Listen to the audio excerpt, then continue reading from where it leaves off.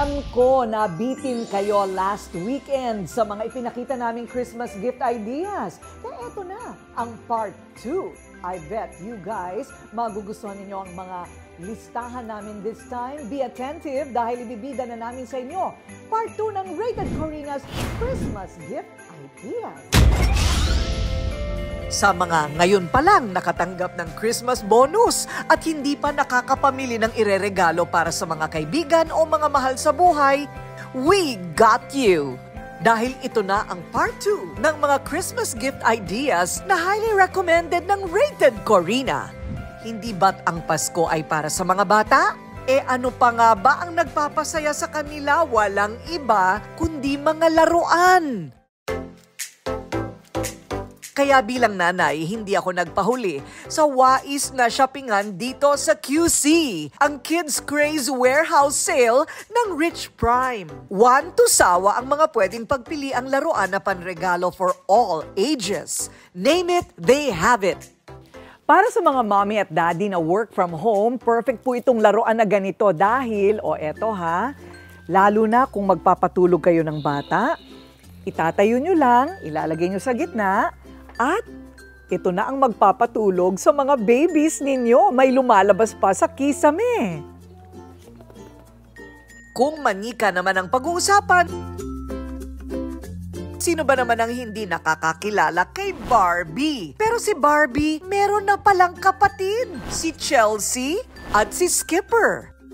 Si Chelsea, siya yung bunsong kapatid. So, si Chelsea more on very cutesy playsets, mga mga pang-age niya, she's I think around 5 to 7 years old. Si Skipper more on a teenage side na. Bukod kina Chelsea at Skipper, meron din silang Barbie na pa-suspense para makita mo ang buong OOTD nito. Kailangan mo itong ilublob sa mainit na tubig. Si Color Reveal Barbie, one of the newest Barbies as well. So, instead na when you get a Barbie, Instead, nakita mo na siya agad. Si color reveal, you don't know how it looks at first. Pero once you do all the steps, like lagyan ng mainit na tubig and then rub the doll, you'll finally see what kind of Barbie you got. Kung kotse-kotsehan naman ang hilig ng mga anak, inaanak at pamangkin ninyong mga lalaki mula sa pinakamaliit hanggang sa pinakamalaki, meron sila. Sa mga mahilig naman sa anime gaya ng Naruto at Pokemon, meron din silang mga limited edition. Kung sobra naman nilang love ang mga pet sa bahay ng inyong mga chikiting, bakit hindi sila bigyan ng bagong pet na pwedeng ibulsa at dalhin kung saan-saan. Ayan, meet Bitsy.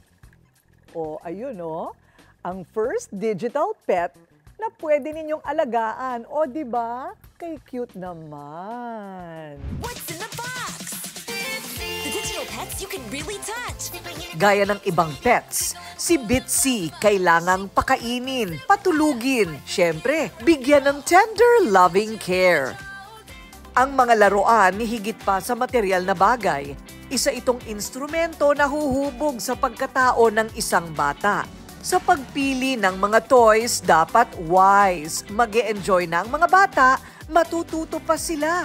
Every child deserves a happy childhood. Nagkakaroon sila ng happy childhood because of the toys. And deserve naman talaga ng mga bata na to be happy, genuinely.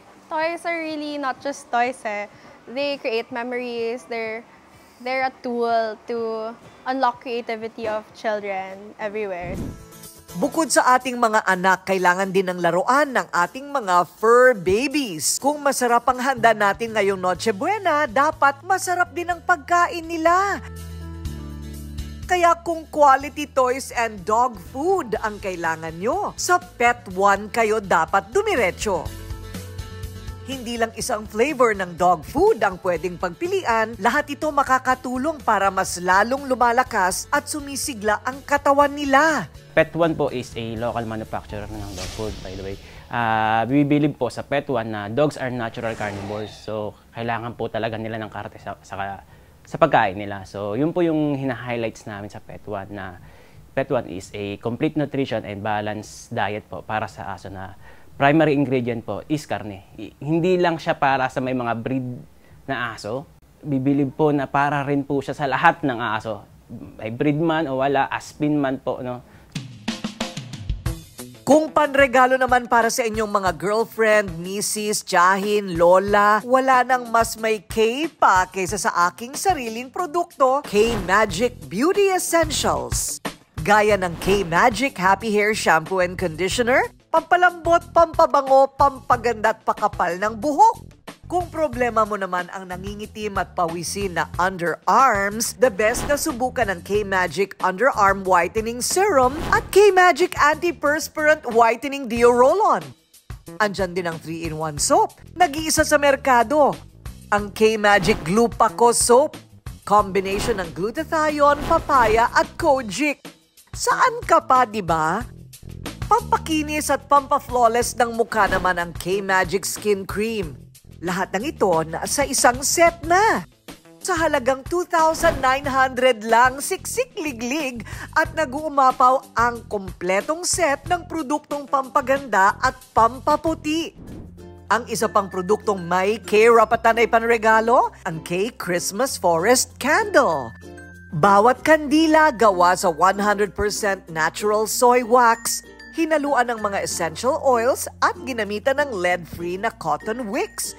Lahat imported pa galing Australia. Meron itong iba't ibang scents gaya ng K-Orchard. Subukan din ng K-Rose Garden. Iba rin ang bango ng K-Lavender. Siyempre, hindi rin papahuli ang Candle of the Season K Christmas Forest na may scents ng cedarwood at Siberian fir. Pag sinabi ko, kailangan, totoo, walang dagdag, walang bawas, walang kasinungalingan. Galit kasi ako sa manloloko, sa sinungaling at sira sa salita. Ang lakas maka-unprofessional ng walang integridad. Ganon din dapat sa pagpili ng sabon para sa mukha at balat ng sarili nating katawan. Dapat sigurado, dapat kumpleto, dapat epektibo. Kaya ang payo ko sa inyo, huwag iasa sa mga bulero ang kutis na pinapangarap ninyo. Dito kayo sa may kredibilidad, integridad, proven and tested. Skin Pro. Siyempre, huwag kalimutan sila tatay, tito, lolo. At dahil may okasyon, siyempre hindi mawawala ang inuman. Shot puno ng whiskey. Yan ang best ngayong Pasko dito sa BGC kung saan itinayo ang kauna-unahang whiskey park sa buong Asya. Hi, Rated Corina! Welcome to McKinley Whiskey Park, the first and largest whiskey park in Asia. The McKinley Whiskey Park is located at McKinley West, Taguig City. So the Whiskey Park is open from Wednesday to Saturday, 6 p.m. to 3 a.m. So kung gusto niyo mag-inuman dito, tara, tour ko kayo. So no slippers and sandals allowed. So ito yung first Instagrammable area natin. Dito mo makikita yung buong McKinley Whiskey Park. So from the stage to the food concessionaires to the activity areas, kitang-kita lahat dito. Okay, pasok tayo sa whiskey shop.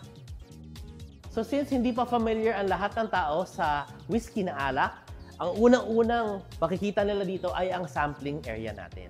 So dito pwede kayo sumubok ng whiskey highball, neat, or on the rocks na Charles and James. Okay? So ito, ang Charles and James Light, ang flagship at ang pinaka bestseller natin na whiskey sa Whiskey Park. Okay? So once na masanay sila sa approachable whiskey which is uh, Charles and James Light, le-level up tayo ng le-level up sa world ng whiskey. So this is the beginner-friendly whiskey. And then, papunta tayo sa blends. So kung mahilig kayo maghalo ng mga coke, ng mga highballs, ito rin, full-bodied whiskey naman ang to. 40% alcohol by volume. And then from there, after you go with the blends, ang final destination nyo would be the single malts. Siguradong ikaw ay mapapaalapaap sa sarap ng kanilang pinakabagong flavor ng whiskey, ang Charles and James Light Whiskey. So ang Charles and James Highball ang isa sa pinakamadali at pinaka-refreshing na cocktail na pwedeng gawin dito sa McKinley Whiskey Park. So first, Charles and James, one part. Tonic water, two parts. At top off ng ice. Then, ready to enjoy. Siyempre, um, tinamaan tayo lahat ng pandemic. So, namimiss natin ang isa't isa, mga kapamilya natin, mga kaibigan natin. At ngayon, oras na para mag-celebrate. Oras na para magtipo-tipo, magsama-sama, at kulang ang isang celebration kung walang inumin. Kung gusto natin mag-level up ngayong Pasko, so kung may mga nakasanayan kayong inumin, ito, bagong-bagong klaseng kategorya sa ah, market ng alak. Okay? So ang whiskey, ah, typically gawa siya sa Scotland. So kung makikita natin lahat ng produkto natin dito sa Whiskey Park, lahat ito ay gawa sa Scotland. So para sa mga kababayan natin sa Davao City at gusto ma-experience ang Whiskey Park, bagong bukas ang Davao Whiskey Park. Located at ah, Dakudaw Loop, Davao Park District, Lanang, Davao City.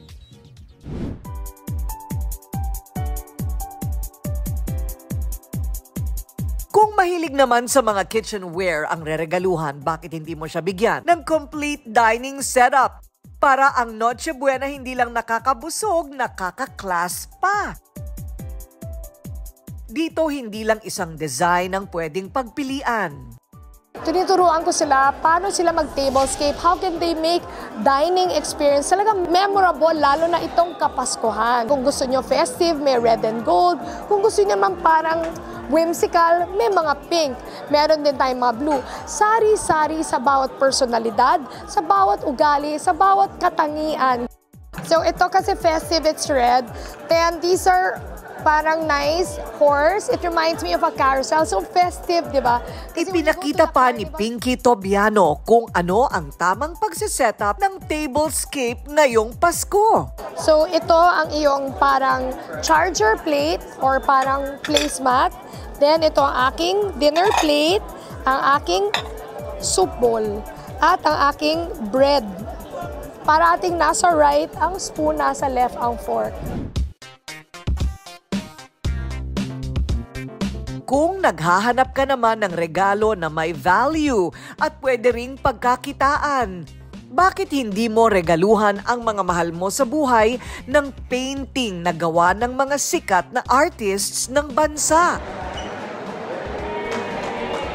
Noon lang nakaraang linggo, idinaos ang isang painting exhibit sa BGC na nagtampok sa iba't ibang obra na gawa ng mga artist. because it has value. When you sell, when you give a painting, you do not only sell the painting, you do not only sell, sell an object, you're selling your heart, your passion in that painting. Sa totoo lang, ito talaga ang paborito ko at siya yung pinakang mahirap kong ginawa. Isa si Otep mula Paete, Laguna sa mga artist na nag exhibit ng kanyang mga painting at ayon sa kanya, ang kanyang inspirasyon sa kanyang mga obra ay ang mga ama o haligi ng tahanan. Usually sa Paite, ang mga nag-uukit, mga tatay. Merong magsasaka, may simpleng tao, merong parang rakistas. Maganda ang painting sa isang tahanan. So ito ay nagre-represent ng, ah, ng ating kalikasan o ating mga bagay na gusto natin balikan o importante sa atin. Ang painting ay parang larawan din natin eh.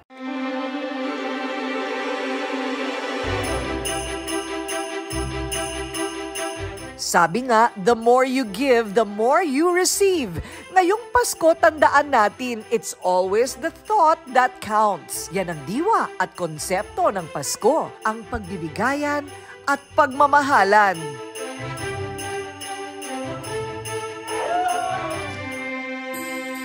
Glupako, glutathione, papaya, and kojic in one beauty bar. All three actives for whitening, moisturizing, and anti-aging in one soap. Glupako soap